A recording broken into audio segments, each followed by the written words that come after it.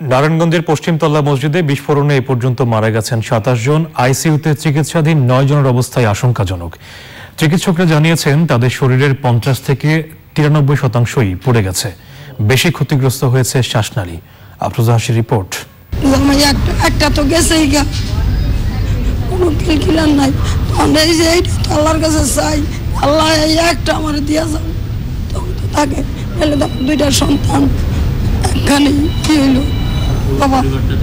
রওশন বেগমের দুই মেয়ের স্বামী নারায়ণগঞ্জের পশ্চিমতলা মসজিদে নামাজ পড়তে গিয়েছিলেন। বিস্ফোরণে একজন মারা গেছেন আরেকজন আশঙ্কাজনক অবস্থায় আইসিইউতে। আইসিইউতে থাকা আমজাদ হোসেনের শিশুকন্যা আমিনাও বাবাকে দেখতে ছুটে এসেছে। বুঝাইছি যে গান লেখা দেয় দিব।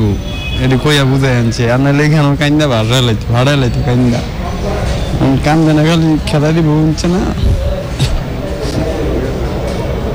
চল আমার এখানে কেন আসছো? আব্বুর লেগা।